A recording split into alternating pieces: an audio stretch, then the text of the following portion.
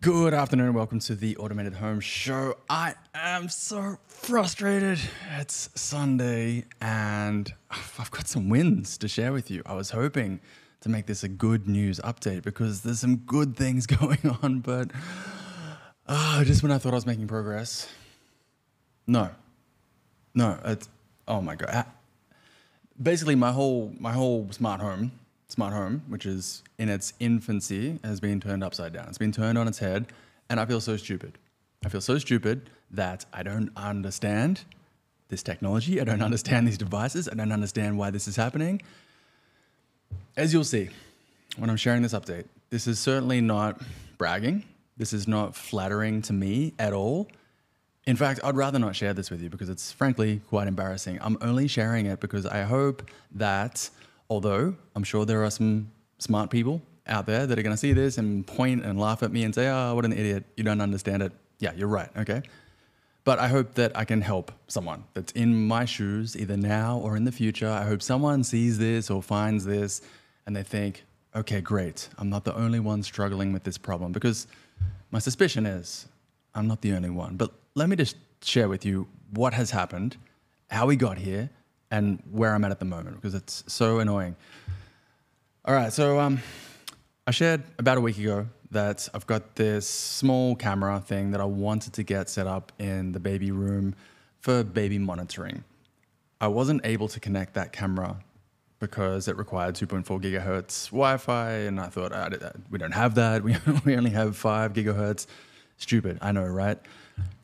Anyway, more recently, I got another product someone sent me a camera and it also requires 2.4 gigahertz Wi-Fi. I we had a back and forth conversation. I said, look, sorry, I, I don't know how to connect to 2.4 gigahertz Wi-Fi. As far as I know, we only have five. They said it's very easy, and they were right. They said it's very easy. If you have five, you also have the capability to have 2.4.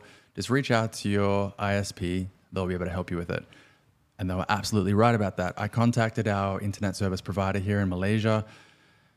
I wasn't too confident in getting a helpful reply, but to my surprise, I got a fast response from the ISP, very helpful, and yeah, it was a very easy problem to solve, right? I don't need to go into it now, but right now, I've split out the Wi Fi networks that we have here in our home. Now we have a 5 gigahertz Wi Fi network and also a 2.4. I thought that was so easy, job done, fantastic. I thought I'm going to kick back on this lovely Sunday and I'm going to connect a few devices. I'm going to play around and maybe re, you know try to reconnect that camera that was meant for the baby's room.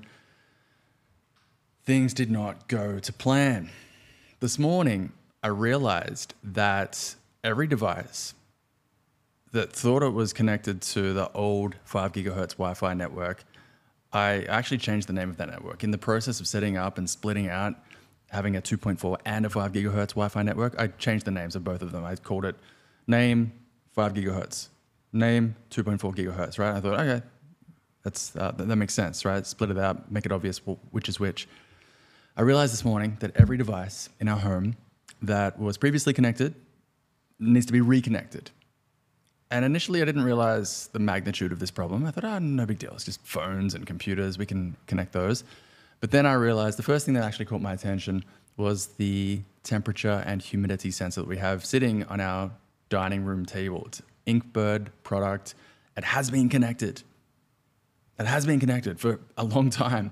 And suddenly I looked at it, and I'm like, oh, it's disconnected. Oh, no big deal. I'll just reconnect it. And I couldn't do it. I tried. I tried various things. I was in the app. I was looking at it, troubleshooting, reading this help article. I couldn't do it. So that was pretty frustrating. And then I realized that wasn't the only problem. I realized my Meross window and door sensor that I have on the front door here that was in Alexa and in the Meross app, I realized that was offline and I couldn't figure out how to reconnect that as well. I realized my Sonos, my Arc soundbar, and my sub Gen 3 are offline as well. So forget spending a lovely, fun Sunday setting up some new devices. But by the way, I've got some cool new stuff here as well. Maybe I'll share that later on, or, or maybe not, because I'm just so frustrated. But forget that. Forget that. It just turned into. I actually, actually don't understand this at all. I thought I was making progress. I thought I had my smart hub set up. I thought I had Alexa in there with the with the Alexa skills. I've got voice control for these devices, and now it's just a matter of buying new smart devices and setting up automations. And that's the fun part, right? I thought, oh, this is easy. I understand this. This is fun. I'm making progress. And it feels like two steps forward, four steps back. It feels like I've just lost all of the progress that I made. And I'm not just back at square one, I'm back at now. I didn't even know. Like, I feel like right now, um, just in, I need to assess the damage. I need to go through system by system, product by product, and I need to figure out okay, is this thing still working? Is it still online or is it not? And what I, you know, a quick, a quick sweep through what I think we have, the, the approximate damage report is Meross door sensor, not connected. Sonos soundbar and sub, not connected. Uh, the Inkbird temperature and humidity sensor, not connected. I haven't even tried to reconnect the camera I got for the baby room or the new camera or these new Aqara products, which I went and bought. I picked them up the other day. Fantastic. You know, I was so excited to get this. What is this? A P, P1 motion sensor. I talked about this. And I've got three Aqara T1 LED light bulbs. All of these products, all of these devices are going to go in our outdoor lift, elevator, lobby area. That's what I wanted to spend my Sunday doing. I did not want to spend my Sunday running around with my hair on fire, trying to figure out how to try to reconnect devices to the Wi Fi, not being able to figure it out, feeling stupid, feeling like I don't know anything at all, which, which is obvious. That's true. Okay. I know that. But it's just so frustrating. I would say on a scale of one to 10, the frustration rating scale, this is like an eight or a nine frustration. And now, it's not just frustrating, it's causing me an anxiety and frankly, paranoia. Like I, I don't I don't even know what this means for the future. Like it's it's really really uh, it's it's yeah. Uh, this is not how I wanted to spend my Sunday. So I think, and I could be wrong here. Like I'm, I'm honestly gonna have to go device by device and try and figure out how to get them reconnected. But I think I'm gonna have to do factory resets. Like for example, in the Sonos app, I tried to connect it to the Wi Fi, didn't work. And then I was going through the troubleshooting steps, and it looks like if the Sonos products were previously added to a different Wi Fi network, then you need to factory reset the devices and then try to re add them. Okay, maybe I'm being a little bit dramatic here. Maybe this is not such a big deal. It just seems very frustrating and very annoying. Is there, is there an alternative? Like, instead of doing factory resets, can I, well, I mean, they're added to the other old Wi Fi network. Can I just like somehow port them over into the new Wi Fi network? I don't know. I don't know. You know what?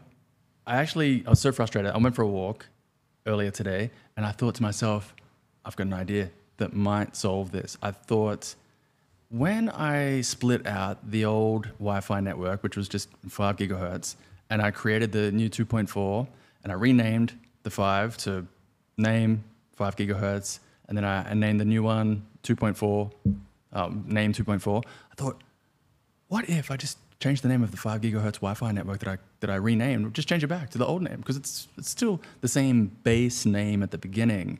I just added five gigahertz at the end. I thought, what if I just delete five gigahertz? It's still the same network, same name, all of these products, all of these devices, they still probably think they're connected to that network. What if I just change the name? I tried that. It doesn't appear to have helped. So I think I am looking down the barrel of factory resets.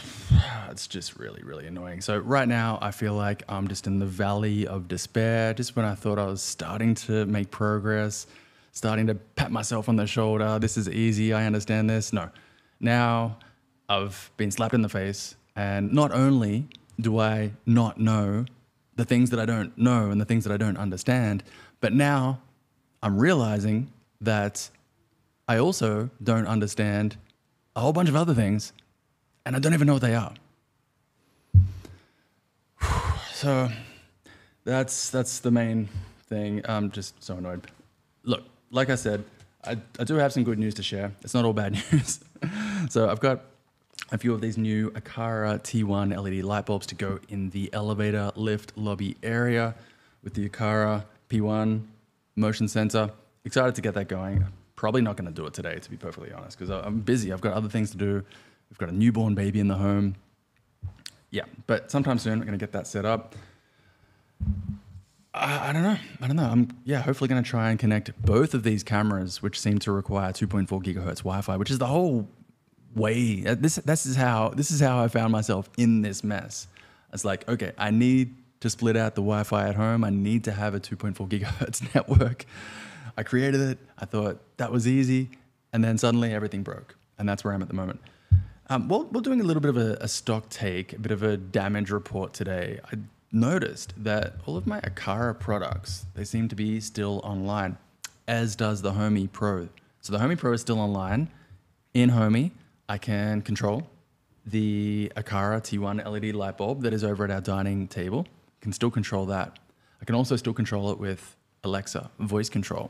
That's good. I can see that the water sensor we have at the kitchen sink is still still online, as is the vibration sensor at the dining table, still online. So it seems like Aqara products, no problem. It's like they never skipped a beat. Homey, no problem, never skipped a beat. But definitely the Sonos system, the Inkbird temperature humidity sensor, the Meross door sensor.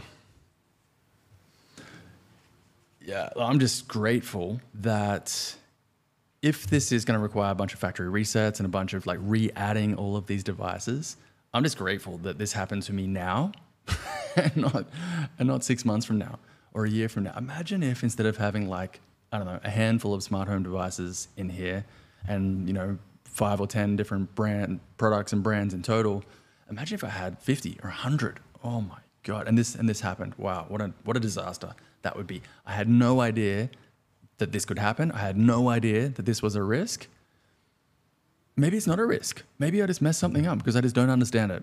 I have no idea. But look, like I said, I'm not sharing this so that you can laugh at me and say, hey, look how dumb this guy is, even though you're exactly right about that. I'm sharing this in hopes that in the future, when someone's trying to troubleshoot one of these problems or a very similar problem, they feel like they're not alone.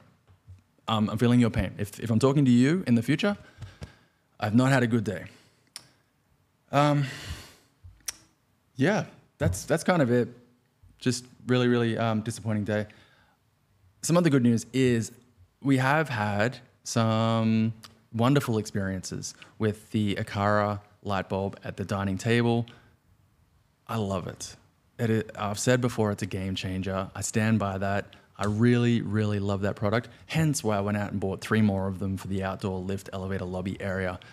It's great. I, I enjoy turning it on and off. I enjoy just playing with it even when I'm not around. You know, the other day, my wife and my mother in law were at the dining table. Uh, I was in a different room. And just for fun, just for fun, I just, just turned the light on just, just for a few seconds and then turn it back off just because I could, just for fun.